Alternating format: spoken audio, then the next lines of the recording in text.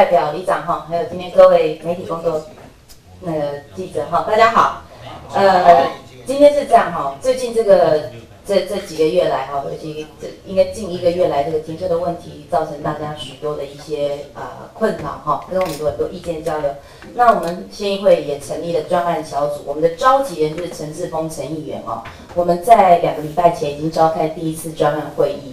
那召开这一次的专案会议之后，还是有很多很多的民众的陈情跟反映到县议会来。那我们预定是。我们就预希望今天哦，能够让我们各位里长哦，尤其是在柳化庭这个里长跟代表，能够当面的能够提出你们的建议跟你们的看法哈。我们再来收集一次的民情，我们会四月初再举办一次第二次的专案会议哦。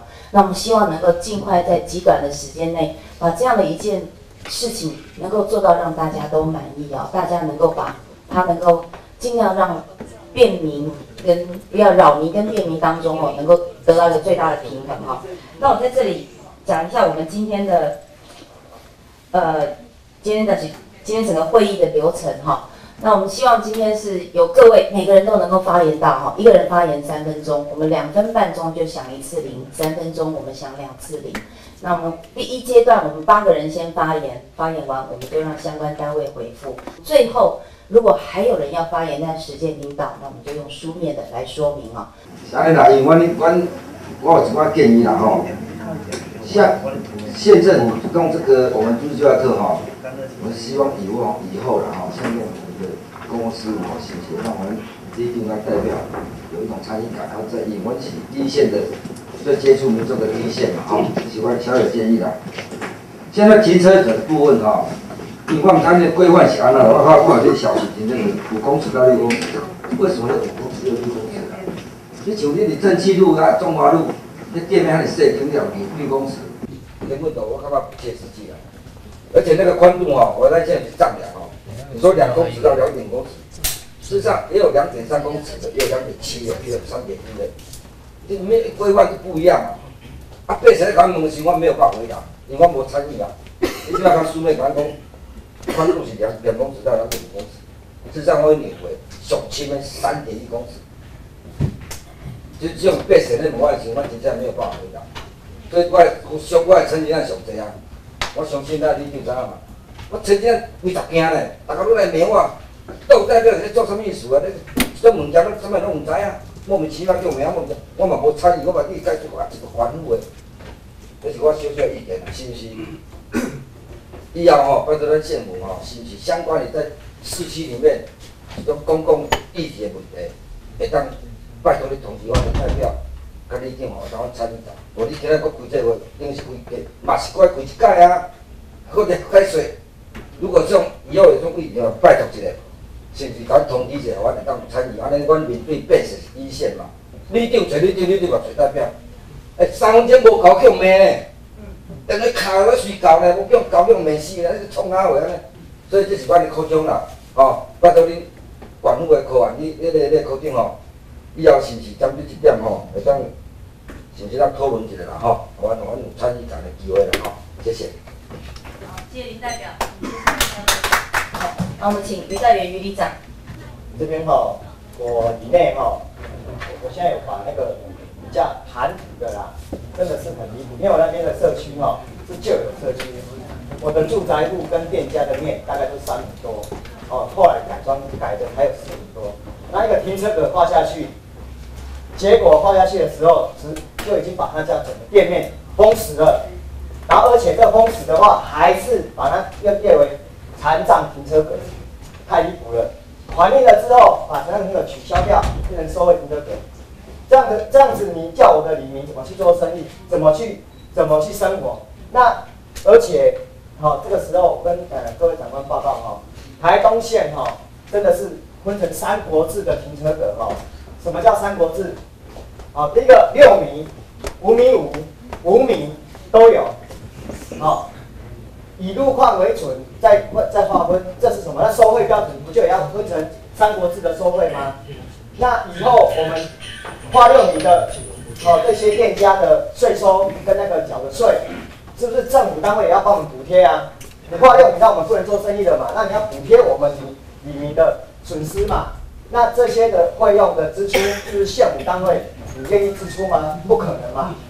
对，好的县政，县长强推的这个县政是很好的一个县政，很好的一个一个计划，哦，各县市都已经在推动了，但是是去年这个消息说要划成那个，在去年的时候就已经敲定要收费喽，为何一直拖拖拖拖拖到过年后还还在执行，还在画，画的时候也很离谱，很像做贼这样子在画线呐，这个部分哈真的很说不过去哈。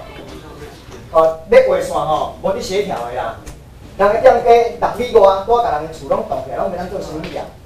哦，拄好阮去紧打电话，而且我我的状况比较特殊一点哈，因为我前阵子刚好都在高雄，我儿子住院哦，都接到电话，说我在处理。哦，所以说没有没有办法及时在做处理，在划线的时候处理。那你看我我现在说看到这个回来之后看到这个，我真的很很感慨，你知道吗？两个店名，而且我旁边是省立医院哦。只要人家去住院，好急着去看病，在急诊室停了车进去了，结果要住院了，三五天要出来，他这家店面怎么做生意？怎么做生意？你告诉我，怎么做生意？怎么把他的货出入？怎么出入？他没办法出入了，刚好他们家门口整个封死。好，另外一点就是双黄线的部分，交通队也很过分。好，这个部分呃不好意思哈，讲话比较直接一点。长官，别过来。双黄线那个黄线的部分，好，等下反应的，黄线就马上画，马上标起来。临停就马上要来开单，好。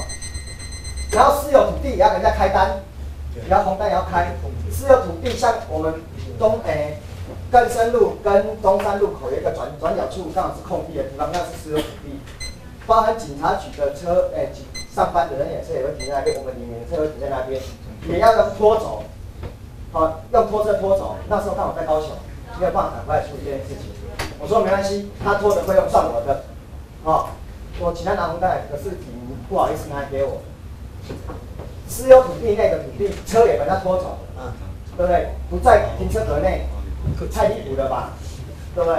希望说，呃，地地长哈跟那个陈陈陈议员哈能够帮一下你们哈，他的声音哈，这个这个部分能够。修正一下，好，感谢。我现在有一个问题，比较实际的一个问题哈，就是骑楼问题。那有些骑楼因为被人家利用已经多年，我们没办法去打通。那我们现在我们室内应该有一有几条是示范道路，示范道路我们骑楼当然是不能停车的。这个我我想我们的交通队或是个警政单位的话也应该知道。但是有些非示范道路的地方哦，那我。如果他们停车的话，我们好像也会看他开罚单，也会拖掉，这样好像对他们有一点不公平啊。因为我们的住户里面，他们左右邻居骑有围起来了，他们可以合法使用，但是停的车子就非法了。我想这一点的话，是不是可以做一点修正？就是说我们在示范道路的地方不能停车，骑友不能停车，非示范道路的地方是不是可以通融一下？只要不超过七楼范围，是不是可以让我们合法停车？哦，就这一点而已。那么我现在是以一个这个身障的驾驶，就这个这个这个身障这个免费停车格的问题表示意见。那我表示的方式就像公文一样，我用主旨说明。我的主旨是，我建议这个全面全面取消现在的这个这个身障免费停车格，统统改为收费停车格。那么对于身障者呢，给予呢第一个小时免费停车的优惠，从第二个小时开始正常收费。这我这个是我建议的主旨。那为什么会有这样的建议哈？因为这个身障者他要他的开车要停车，他总是希望他的目的地跟他停车位置要很近，对他才有实际上的帮助。那现在的这个残障免费停车格，它对身障者驾驶而来说是没有什么实际上的益处，他没有实惠的。为什么呢？因为在四十四个现在的这个免费停车格，大部分是设置在比较冷僻的这个位置，那残障者他可以说是没有什么利用的这个这个这个好处。那至于说少数也有这个比较好的位置的，比较热门的停车，但这些位置呢都会被别人占用，而因为它又是免费，所以经常那些那些车一停就停很久。它没有达到一个流通共用的目的，所以对于大多数残障者，那个免费停车格都没有实用的这样一个效果。这样一来的话呢，其实是对于一般的驾驶、残障的驾驶跟收费的业者三方面来讲都是三输的局面。为什么呢？因为你残障停车格画好之后，一般人停车没法去停，那残障者又不又不愿意停，又不方便，那收费者又不能从那里面得到收费，变成三输的局面。所以说，要改成大家都好的话，就是全部改成收费，没有所谓免费停车格。那这样一来的话，就我一个残障驾驶来讲，我觉得实惠大。为什么？给我们第一个小时免费，那我们从第二个小时如果还停在那边的话，就正常收费。这样的话，残障者他停到哪里去呢？他都可以利用第一个小时免费，他就可以享受到。至于他愿意停久的话，他要收费。那不不至于现像现在有些比较热门的这停车格，有些残障驾驶他一停就停一天两天这样停。比如说，我们举个例子，像中华路一段，它有一个停车格很好，在第一银行前面。但是那个停车格去看，有时候我像二七号去看，早上一些车辆停车格停在那边，到了晚上还是停在那边，又不要收钱。那至于其他的车辆就没办法利用那个停车格。所以说，我的意思认为，对残障者对大家都好的就是统统改为收费，给残障者第一个小时免费，第二个小时开始正常收费。这是我的建议